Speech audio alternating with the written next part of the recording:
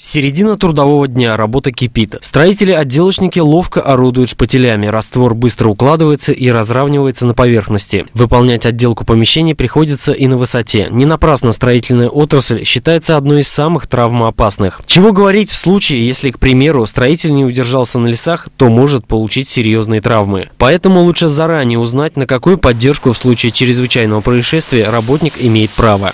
В первую очередь это лечение э, больного непосредственно после тяжелого случая, это может быть стационар, там операции, эти э, Далее санкур лечение, если это, в этом есть необходимость, то есть лекарства, посторонний бытовой уход мы тоже оплачиваем, оплачиваем протезы, оплачиваем э, технические средства реабилитации, в том числе выдаем автомобили, то есть у нас вплоть до того, то, что мы оплачиваем даже ГСМ страдавшим.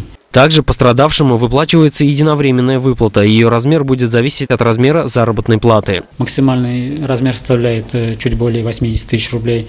А не дай бог, если э, с страхованным лицом произошел смертельный случай, то семье иждивенцам а с 1 января 2014 года у нас уже вот, ну, новшество э, выплачивается 1 миллион рублей. 13 лет назад социальное страхование от несчастных случаев на производстве и профессиональных заболеваниях стало в нашей стране обязательным. Такая мера защищает интерес работников и гарантирует, что пострадавший не останется наедине со своей проблемой. При этом важно, чтобы он был официально трудоустроен, и предприятие должно платить за него взносы в фонд социального страхования.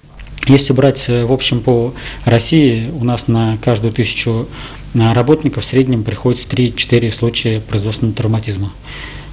Мы, конечно, все понимаем то, что часть э, из них скрывается, но если брать наш филиал, у нас